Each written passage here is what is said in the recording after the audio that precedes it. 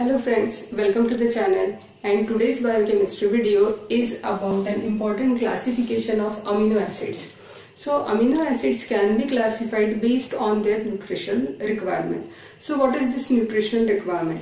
Like amino acids are having various essential biological functions in the body in addition to synthesis of proteins so when these are used for the synthesis of proteins, it is not that we always take all the 20 amino acids through diet.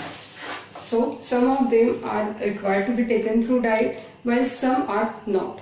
So those amino acids which are required to be taken through diet, these are called as essential amino acids. So these are required to be taken through diet and those which can be synthesized by using the amino acids which are taken through diet that is from essential amino acids.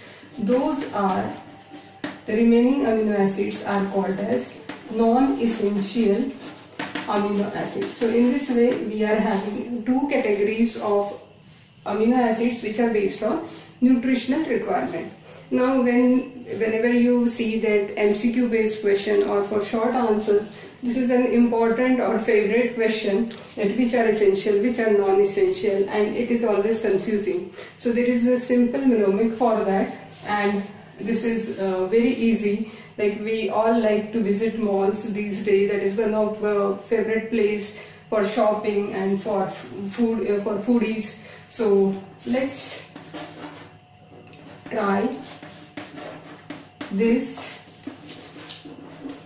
VIP MOL. So this is a small mnemonic to remember the essential amino acids which are required to be taken through diet and we can get the diet from the VIP mall. So what are those amino acids now let's see TRY tri that stands for tryptophan. The second T that T stands for threonine. HIS histidine V is for valine, I is for isoleucine, P is for phenylalanine, then the remaining M that is for methionine, A is for arginine and the remaining one leucine and lysine. So in this way we can keep in mind the essential amino acids and these are total 10 amino acids under the category of essential amino acids. Among these 10 amino acid, 2 amino acid that is AH, H. So that arginine, histidine. So these are not synthesized in the children.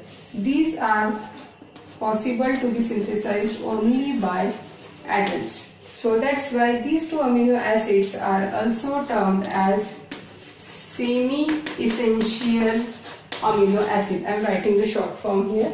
So these two are semi-essential amino acids and the remaining 8 these are the strictly essential and these two are also essential for kids so that's why those are also termed as uh, 10 essential amino acids and apart from these 10 the remaining all those all are the examples of non-essential amino acids. So you have to just remember the names of essential the remaining one will be the non-essential.